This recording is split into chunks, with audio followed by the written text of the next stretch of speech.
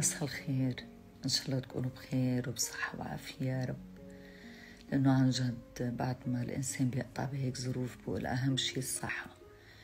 وكان والدي الله يرحمه دائما يقول لي يا بابا إذا راحت الصحة راح كل شيء بكل الأحوال حبيت أشكر كل الناس اللي اهتموا واللي سألوا واللي اتصلوا فيني واللي بعتوا لي مسجات وبعتوا لي ورود وجمهوري الغالي على سؤالكم ومحبتكم الكبيرة.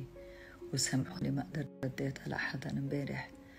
أه بس حبيت أطمنكم إنه الحمد لله. أه اليوم طلعت من المستشفى بعد ما جريت عملية صغيرة بالمعدة وعدت على خير الحمد لله.